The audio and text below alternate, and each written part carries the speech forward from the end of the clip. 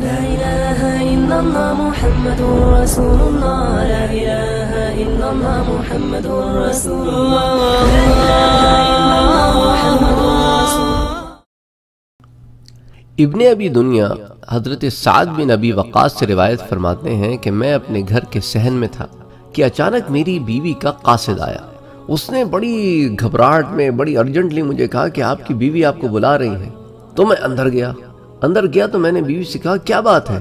तो कहने लगी कि ये सांप है। जब मैं घरों से बाहर जंगल में कज़ाए हाजत के लिए गई तो इसको देखा।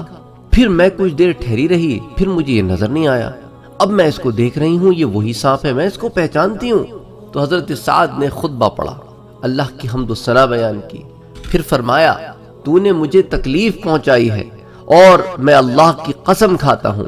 अगर मैंने इसके बाद तुझे देखा तो यकीनन तुझे कत्ल कर डालूँगा। तो वो सांप निकला और घर के दरवाजे से चला गया। यहाँ तक कि वो सांप मस्जिद नबी में रसूल अकरम सल्लल्लाहु अलैहि वसल्लम के मिंबर के पास आया और इस पर चढ़कर आसमान की तरफ़ चला गया और गायब हो गया। तो ये एक जिन था जो सांप की शक्ल में हज़रत साद बिन अबी वकास की बीवी के सामने ज़ाहिर हुआ था। हमारे चैनल को सब्सक्राइब करना ना भूलें और बेल के आइकॉन पर क्लिक करें ताकि आपको रेगुलर नोटिफिकेशन अपडेट्स मिल सकें।